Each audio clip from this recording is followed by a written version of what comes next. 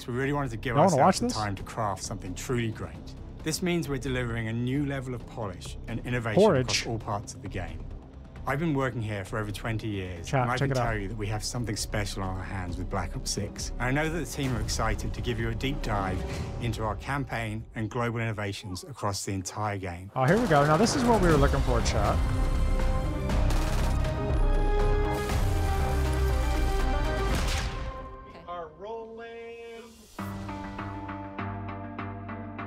Black Ops 6, we're taking players to a new but familiar Chat, y'all hear that okay? The early 90s. In true signature Black Ops fashion, our story builds on real history, thrusting players into a conspiracy where a shadowy force has infiltrated the highest levels of the US government, Wow, a branding anyone who shadowy resists force as that's traitors thrusting. and forcing players to go rogue for the first time to fight the very machine that created them. Oh, The team has been meticulously crafting every aspect of this game to deliver the fun and attitude players expect from the Black Ops franchise. yeah, all right. Multiplayer is of course here and brings the Black Ops style and provides a playground for the brand new Omni movement system. Oh, New yeah, the Omni push thing is beyond your limits and move like an action hero. Oh, ow, ooh. You'll see a sneak peek of that later today. Oh, give me a Round-based sweet zombies sneaky is peeky. absolutely back and better than ever, and you can be sure it's full of surprises. With that, let's step into the mind-bending Yeah, we're playing campaign Warzone, experience we've bro. been crafting with our But we're watching this uh, Black Ops 6 release, my man. We're seeing what that's all about, bro. Bro, No turning back now. ain't no turning back now, Cletus. Ooh. Campaign. Ah, this Every is a Call of campaign. Duty player has a favorite campaign mission. When we set out to make Black Ops 6, we were focused on delivering missions so iconic that they stick in your memory long after. We are bringing that action-packed blockbuster feel to every step of the narrative. We are giving you more variety, more dynamic moment-to-moment gameplay, and more options to finish each mission. We can do this loud or quiet.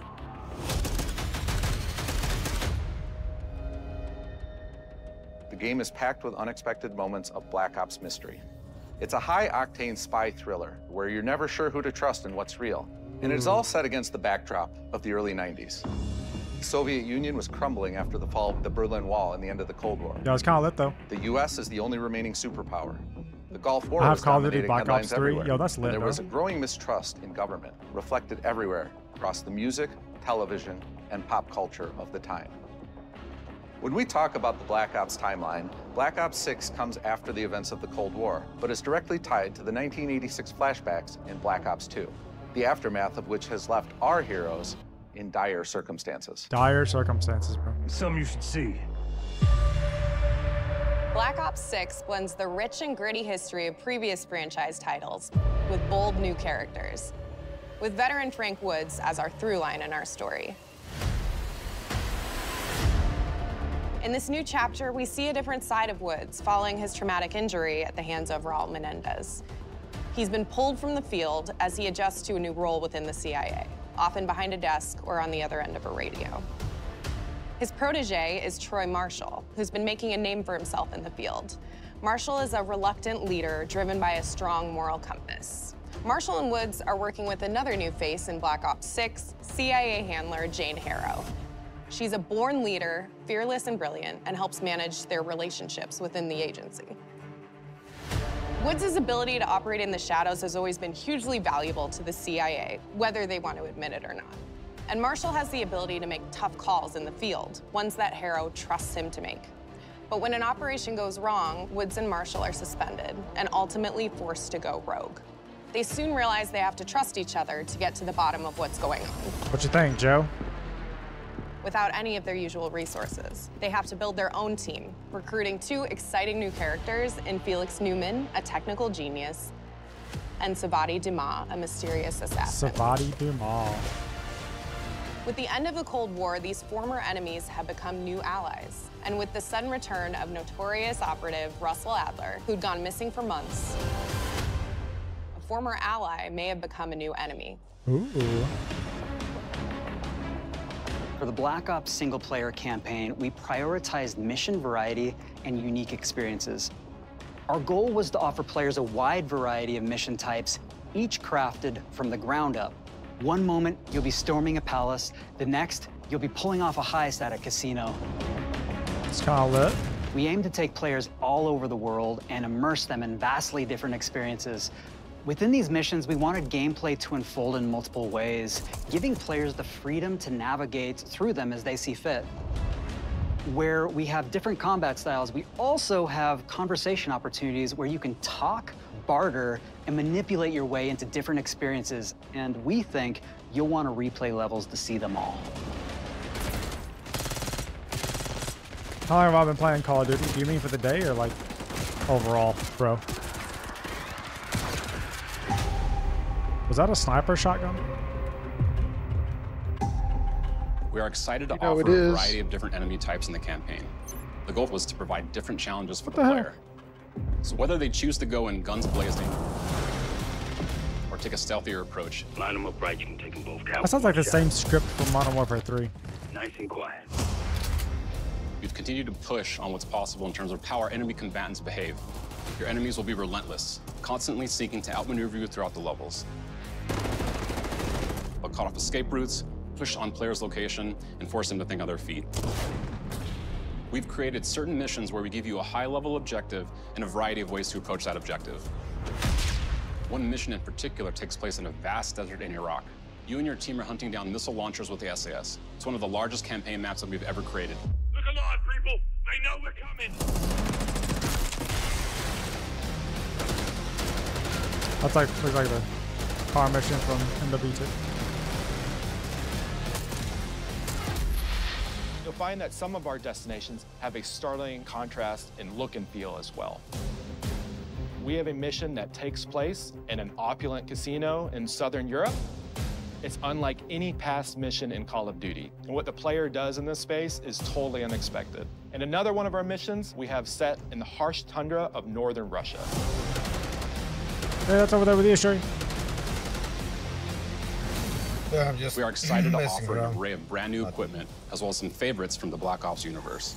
RCXD, Tranquilizer Trap, Can you hear me? Adrenaline Stim, Because I was like Homing Knife, toggling on, on off side. Disruptor,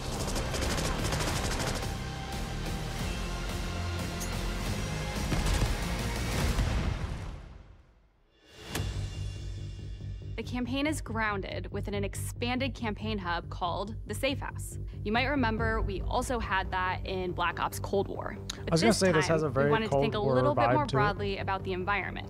We chose I'm to have play our the team's campaign. hub I'm gonna play the located in a more naturalistic setting. Before the so, stream comes out. It's in an abandoned manor by an ocean cliffside.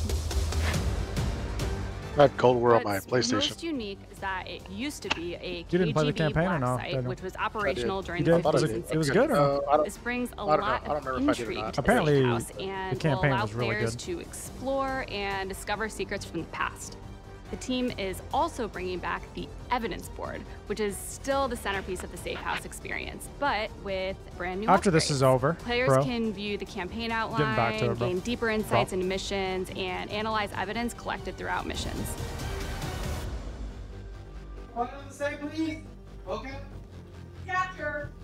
Okay, the attacker comes in. I'll go. Three, two, one, That was sick. Oh, I uh, I think we got it. With Black Ops 6, I wanna our see this Omni to create movement a more stuff. connected experience that keeps players immersed across every single mode. We've pushed ourselves at every corner to innovate and craft the most signature Black Ops experience for our players. Movement has been a Yeah, bro, after this, uh, focus and innovation. after I watch this of for Duty. Vil, and with Black Ops 6, to we're redefining movement across the entire game. For the first time ever, players can sprint in any direction and move like a true Black Ops action hero with an entirely new global system we call Omni Movement. So Omni movement. This unlocks the ability to move like never before and seamlessly chain combat maneuvers like slide, dive, and our enhanced supine prone in full Jeez. 360 degrees range of motion. That's actually interesting. From the beginning, we started with you can't do this thing. Why? Ronaldo or And Messi? Messi, just because of the stupid way. reason that what people say I happens look if we like get him rid sometimes. of that construct And then instantly it opened up like, oh, if you can sprint in any direction, then you can dive in any direction, you can slide in any direction, which then led to all the on the ground movement and everything else chaining together. Hey, that's guys, that's kind of cool. Yeah, it is. I think it'd be better. It's really been something that changes. Is how that- you is this like a buff game, to 2019 whether it's movement? campaign, MP, or zombies.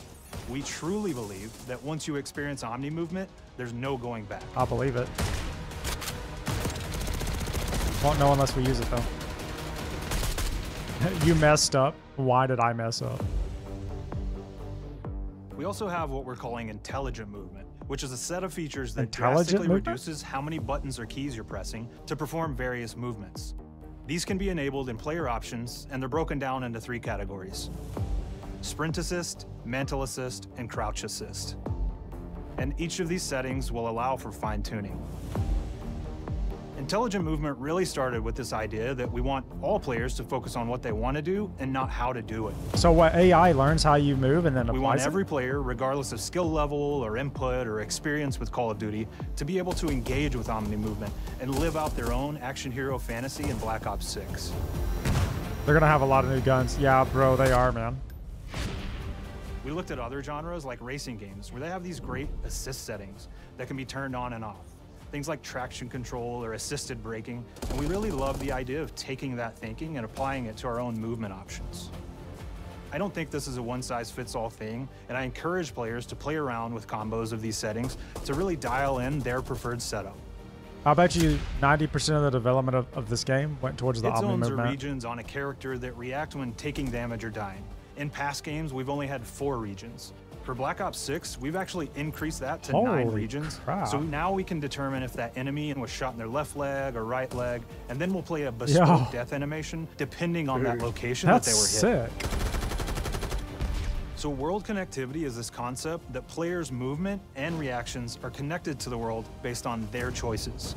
A great example that really shines Do you know what is a GTA is? feature Yeah, I we do. call corner Grand slicing, where as you round a corner or go through a doorway, your weapon's going to dynamically rotate in the direction that you're rounding that corner.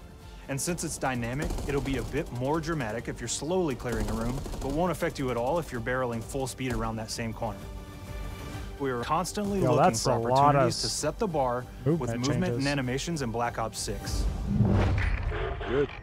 Yeah, that's that's kind of sick. Get rid of the bunny hop. Yeah. Take cover! And that's really Our cool when you shoot them in a thrilled to show specific the area of the body. characters that we've done. That's really cool. Through our process of photogrammetry, gear was acquired, scanned, and incorporated onto each of our operatives. For our faces, Yeah, that's gonna be a big one, bro. That's gonna be a big- a big game, was dude. captured and processed to make every emotional, impactful moment true to actual life. We made sure to have special attention to I'm not gonna lie to you, I never make sure that played, they uh, don't look like they're just freshly cut. before. There's dirt in between their nails, the oils on their palms as they're sweaty and running through situations that they're in. We're paying attention to every detail.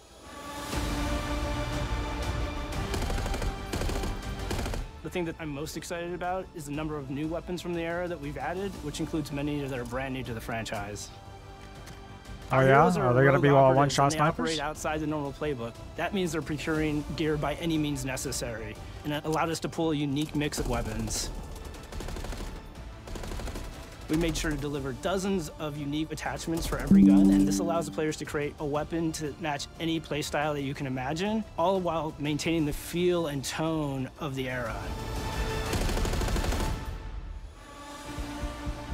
In Black Ops 6, we really strive for striking that balance between real and hyper-real, but we want to ground our effects in realism. We find real-world reference so that we can match that motion, the weight, the timing, then riff off of that and create that hyper-real look that everybody has come to know and love from Call of Duty.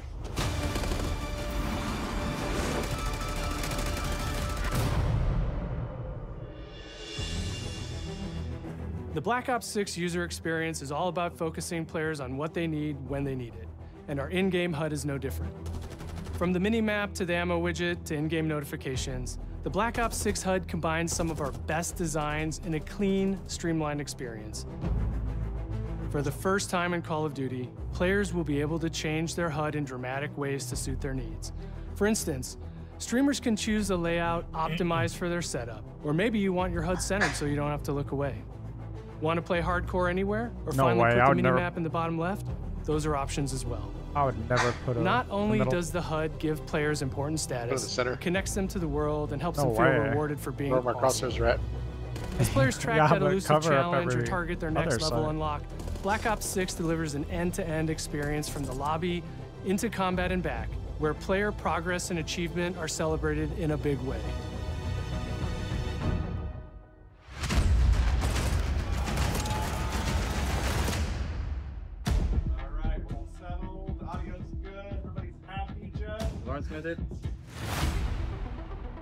Early on in Black Ops 6's development, we set a goal to make leveling and XP matter more than ever.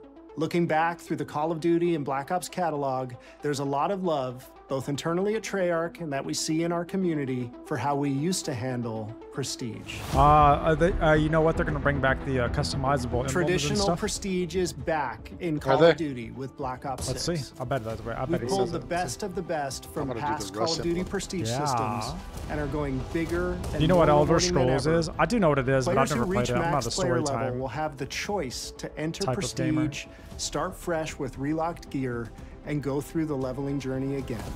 Black Ops 6 will have 10 Prestiges, each with a valuable set of rewards to earn and equip to peacock your status. Players who make it through Prestige 10 aren't done. Instead, they'll graduate into Prestige Master with a thousand additional levels to climb through and a, A thousand? classified reward to uncover for anyone dedicated enough to make it all the way to the end. The full Prestige system is available on day one. Yeah, in they gotta Black say Ops day 6. one. So that means they're gonna release the full game on day one. Huh. I guess we'll see. We know how many of our players look forward to multiplayer, and we will be providing a deep dive on it later in the year. For now, here's some insight into our development of Black Ops 6 multiplayer. Our vision since day one has been to craft an approachable and engaging step change of that signature Black Ops multiplayer experience. We focused on supporting three core playstyles for launch. Enforcers are the slayers who like to kill and stay on the move. Recon is all about intel and counter intel play. And strategists are support players who throw their bodies at objectives for the win or focus on taking out enemy score streaks for the team.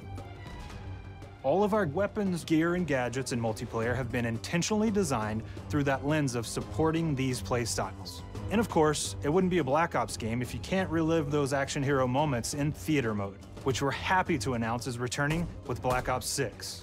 I know I Oh, said we're only getting a taste that's- of that's MP good for today, content, but of theater course mode. that means you're going to get some early details on maps. That's cool.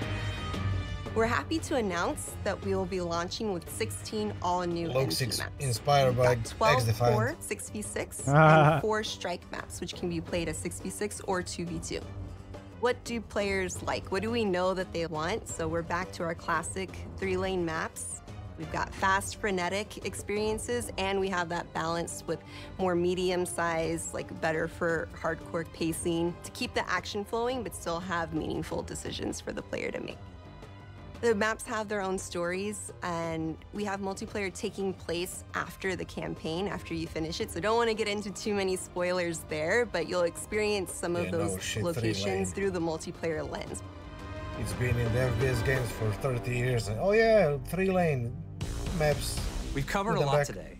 We couldn't leave you without giving Yeah. you just one more thing. The only way to play.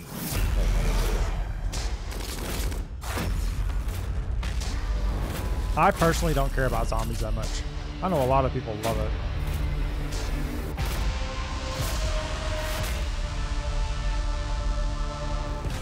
Round-based Zombies is back, and we're picking up the Dark Aether storyline where we left it. We're excited to announce that there will be two brand new maps available at launch, with a curated mix of fan-favorite features and new elements to discover. For those new to Zombies, it's our unique take on the cooperative horde mode, where every map is packed full of powerful weapons and upgrades, deadly enemies, and tons of secrets to uncover. The legacy of Zombies is incredibly important to Treyarch, and we are so proud of what the mode is bringing to players in Black Ops 6. As you've heard today, the innovations in movement systems will also be coming to Zombies. Plus, There are many additional zombie-specific features, both new and returning. This is going to be a truly epic return for round-based zombies. Be on the lookout for more intel coming later this year. Steph interviewed AB. Mark? Now, we know we only gave you a little taste of multiplayer here today, so Hmm, make the sure to mark RC's your back. calendars for our worldwide multiplayer reveal event at Call of Duty Next on August 28th. Make sure to stay tuned for details and watch your favorite streamers get hands on Black Ops 6 so you can be prepped and ready to jump into our MP beta and feel Omni movement for yourself. We'll be sharing so much more about Black Ops 6 in the coming months and look forward to seeing your reactions and your feedback from our open beta coming up this fall and into launch. And it's not just about launch, because the team is already focused on delivering a ton of content in the live seasons, which we'll be sharing more about. Am I allowed to talk about Warzone? Yeah, let's go. Let's go. All right, here we go. Our goal on Black Ops 6 was, and still is, to make something that is the best work we've ever done, and frankly, the most fun to play.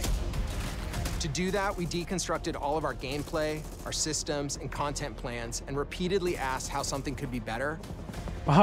In some cases, that led us to huge innovations like Omni Movement, where we're now allowing players to move how real people and operators move.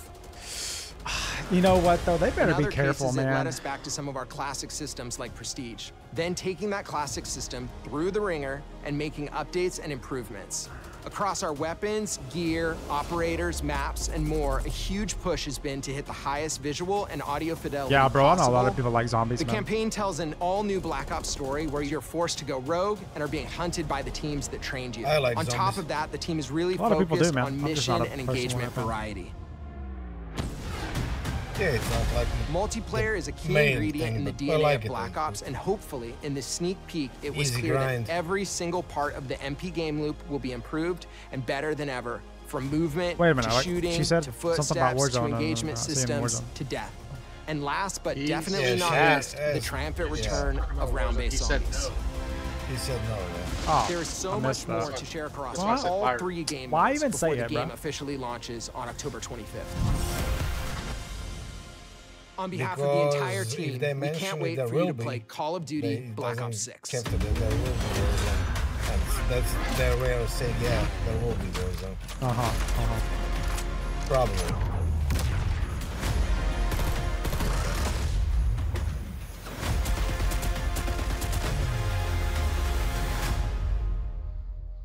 Woo! Call of Duty Black Ops 6 October 25th. Pre-order Vault Edition. Nah, I won't be doing that. Ah, it looks like there's nothing about this that looks appealing to me.